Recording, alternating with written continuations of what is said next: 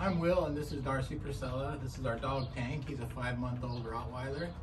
We brought him to the off-leash canine program with uh, Mike Myers. He's been here for two weeks. We're getting him back, and a world of difference. He, he's listening to commands now. He's doing really well. Um, as far as the program, it seems to be really good. It's uh, it's like I said, two weeks, but you get updates throughout the two weeks, a, a daily video and an email explaining what they did the day before, and uh, we are very happy with it. We think they did a great job, and we're looking forward to working with them in, in the future.